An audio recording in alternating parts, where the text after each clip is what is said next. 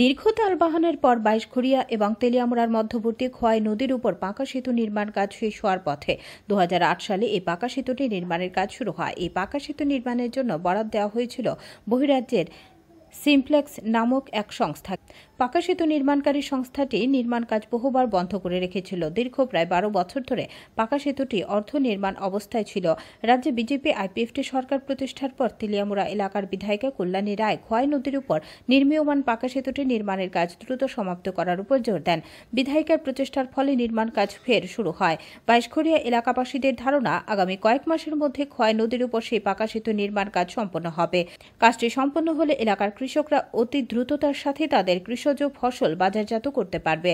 এলাকাবাসীর যাতায়াতের ক্ষেত্রে যথেষ্ট সুবিধা হবে। রাজ্যের বর্তমান সরকারের এই উদ্যোগের জন্য ধন্যবাদ জ্ঞাপন করে বাইশখড়িয়া এলাকার বাসিন্দারা।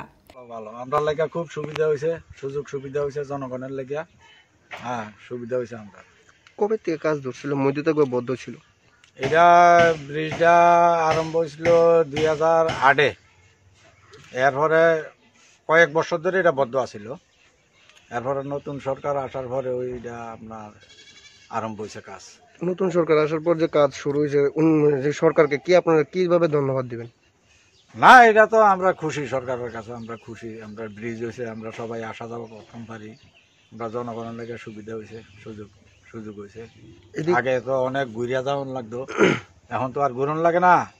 এখন আমরা ব্রিজের উপরে দেওয়া বাইক সাইকেল গাড়ি গুড়ি সব কিছু লয়ে যাইতাম পারতে আছি মাল হ্যাঁ কৃষকরা মাল মাত্রা লয়ে যাইতে পারতে আছে এই- এই- এই- এই রাস্তাটা কোথেকে কই যাইব?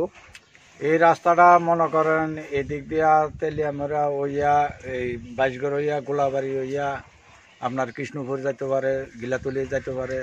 Bureau report Tripura twenty four into seven.